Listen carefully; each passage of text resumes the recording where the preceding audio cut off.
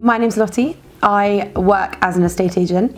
I work for Knight Frank in the lettings team. I think where you live is extremely important to your whole well-being. Now that I live somewhere that I know is going to be long-term and um, it's comfortable and I enjoy it, it just does make that aspect of your life easier and then you can focus more on what you're doing at work. My experience of renting in London has been completely different to accommodation at university where you're kind of relying on everybody else to know what they're doing and your parents are your guarantors and you know, yeah. it's, it's quite different to actually take the responsibility and, and go and look at the properties yourself.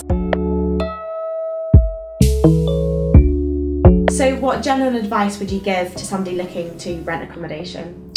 Um, I think first of all you need to be completely sure about who you're going to be living with and make sure that everyone is on the same page as to what you can afford, where you want to live, what sort of place you want.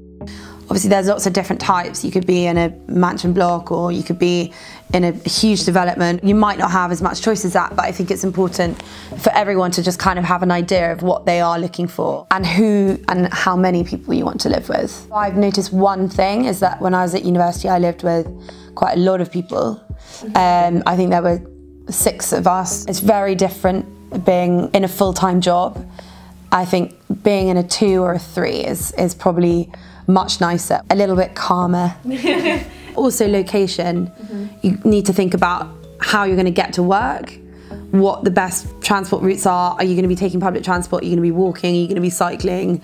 That's something that is always, always within the requirements of anyone that's looking for a property. Where else would you recommend people to look for renting or buying? There's a great new website called onthemarket.com. Um, you've obviously then got Rightmove and Zoopla and all those kind of portals, which are very useful. The best thing to do is to really get advice from someone if you can. If you can speak to an agent and just kind of get an idea as to what you can afford, where you can afford that. I think you could probably get quite a good idea of what you can get for your money just from looking at things online. Yeah.